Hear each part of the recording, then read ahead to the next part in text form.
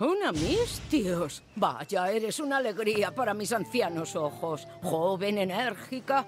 Quizá debería pagarte por tu cuerpo y no por tu ayuda. Todo mejora con la edad, ¿verdad? Incluso tú. El oráculo me dijo que si quería tener una vida larga y feliz debía conservarme joven de espíritu. Pero debo bajar de la parra. Necesito tu ayuda más que tu magnífico cuerpo. Me alegro de oírlo. A Coraco, mi marido, le está costando un poco saciar mi apetito de placer. ¿Y a quién no le costaría? Ah, tengo amantes, pero él es mi alma gemela. Cuando estamos juntos es indescriptible.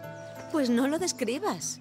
De jóvenes corríamos por el bosque a la luz de la luna. Nos arrancábamos la ropa y nos dábamos placer hasta el amanecer. Nuestros aullidos de éxtasis resonaban por los valles. Espero que a tu edad me siga yendo la marcha.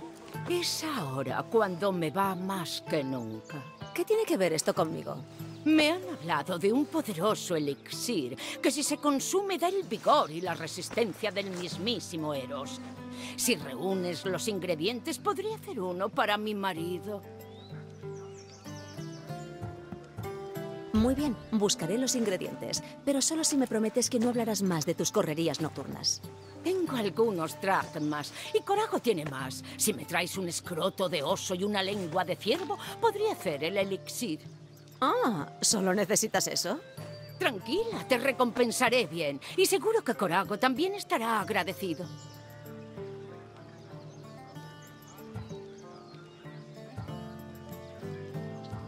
Pronto volveré con los ingredientes.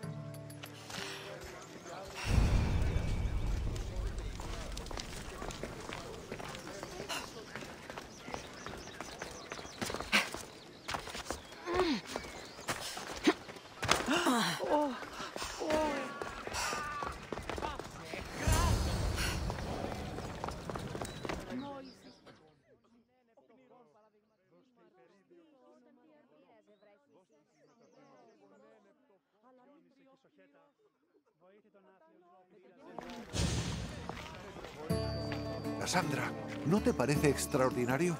Estamos tan cerca de los dioses que casi siento a Apolo. ¿Cómo te ha ido con el penor? Luego te lo cuento en privado. ¿Quién es este? Un peregrino sin más. Acaba de ver al oráculo. Tuve que preguntarle si es tan glorioso como dicen. Bien. ¿Lo es? Me ha dejado con más preguntas que antes. El oráculo fue así para ti.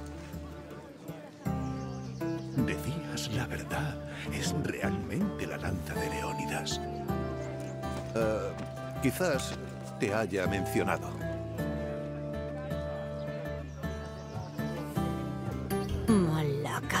Barnabás, usa la cabeza. Es que parecía que le interesaban las leyendas. Como a ti. Creía que os llevaríais bien. ¿Cómo?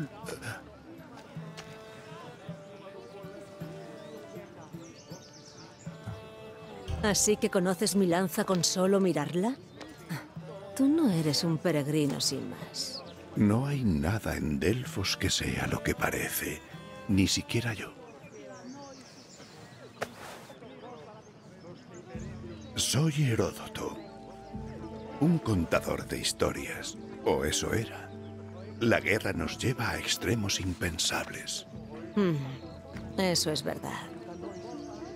¿Por qué estás ocultando tu identidad? Vengo en nombre de un hombre muy poderoso de Atenas. Nos hemos propuesto terminar con esta guerra.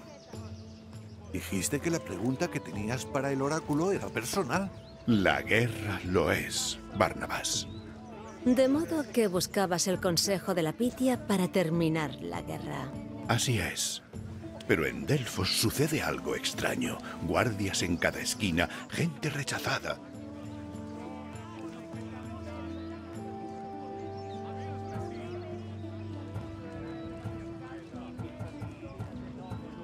No pareces muy convencido de la fiabilidad de la Pitia. ¿Qué te dijo? Le pedí que me mostrase cómo podía acabar con la guerra. Ella dijo, La primavera no debe extrañar al invierno, pues acude con la muerte. ¡Cuánta sabiduría! No entiendo nada. Pero por eso ella está ahí dentro y nosotros aquí fuera. Reconozco una amenaza al oírla. Pasaste demasiado tiempo en Cefalonia. Tengo que hacer preguntas a la Pitia, pero qué cola. Seré una anciana para cuando llegue a ella. es una broma. Pero si llevas encima más hojas que un bosque. No he venido en busca de problemas. ¿Problemas? Tú camina. ¿Quién te va a detener? ¿El sacerdote? de acuerdo. Pero si las cosas se desmadran, será culpa tuya, Barnabas. ¿A qué impresiona tanto como te había dicho?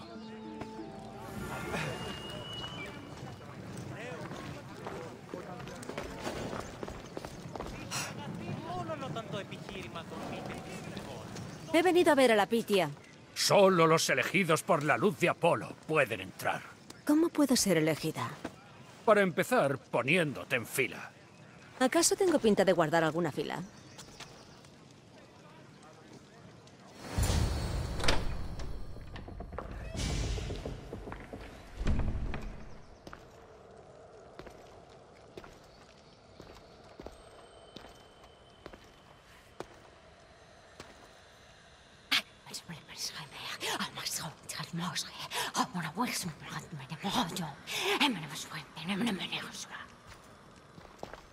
Penetra en la luz de Apolo, la luz que ilumina las tinieblas.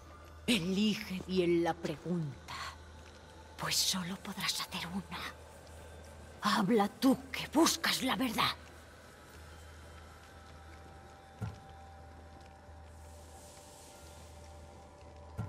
Perdí a mi madre siendo yo muy joven. Tengo que encontrarla. ¿Dónde está? ¿Eres tú? La de mis visiones. La niña de la montaña. ¿Cómo puedes saber eso? Tienes que marcharte. Ya. ¿Marcharme? ¿Sabes lo que he tenido que pasar para llegar hasta aquí? Claro que lo sé. En Causos no te acobardaste ante el sacerdote. Una criatura y su familia viven hoy gracias a ti. ¿Y cómo? Nadie puede esconderse de la luz. Por favor, vengo de muy lejos. Seguro que tienes las respuestas que busco. Niña de la montaña, el culto de Cosmos tiene infinidad de espías. Te van a matar. ¿Culto de Cosmos? ¡El oráculo ha hablado! ¡He ahí tu profecía! No ha respondido a mi pregunta. La Pitia no hablará más este día. No me pienso ir de aquí sin respuestas.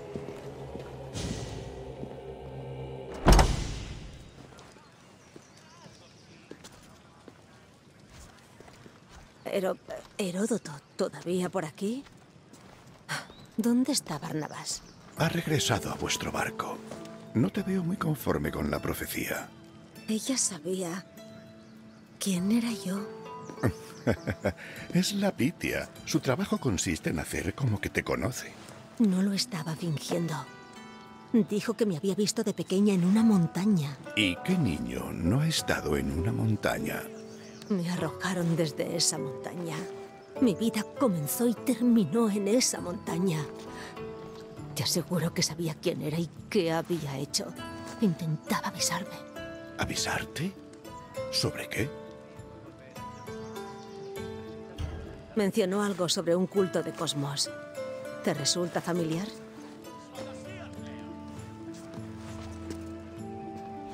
He oído algo.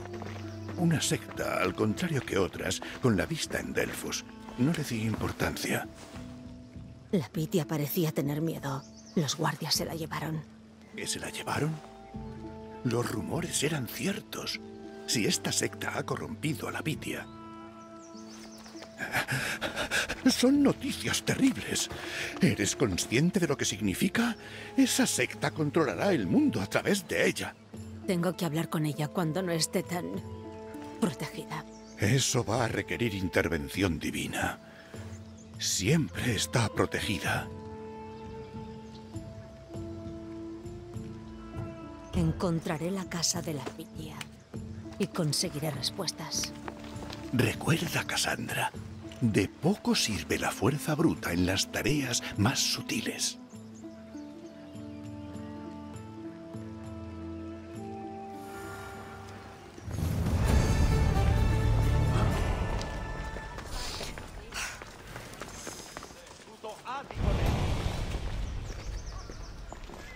Βούλη άρχεστε, ο Ασφάλεια νου αισθάνομαι.